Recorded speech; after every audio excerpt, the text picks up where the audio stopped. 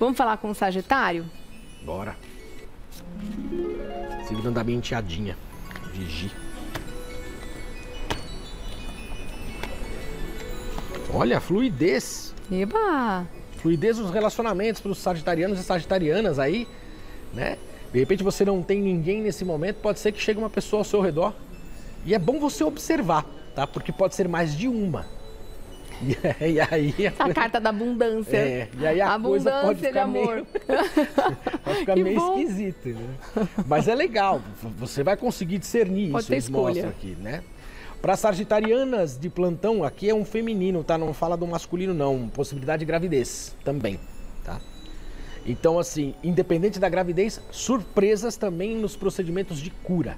então bom. você pode ter aí bons resultados para a cura, se você que está almejando isso, coisas boas chegando a caminho. E os caminhos se abrem para o financeiro também, para os negócios, para as ideias. Isso que é incrível. Ideias.